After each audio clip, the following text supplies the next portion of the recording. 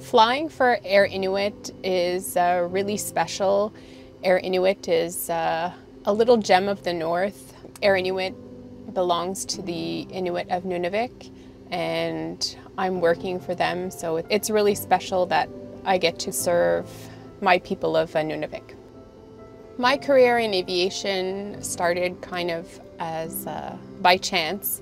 I was in university and not too sure what I wanted to do as a career. And it was one of my family friends that actually suggested I apply as a flight attendant for Air Inuit.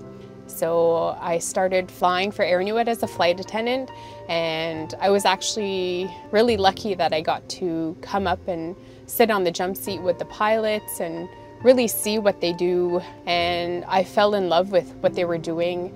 To me it looked like they were doing some intricate choreography and speaking a language that only they knew how to speak. And I fell in love with that aspect, so I went and I got my pilot license and then started flying for Air Inuit after that. My career has recently changed uh, at Air Inuit.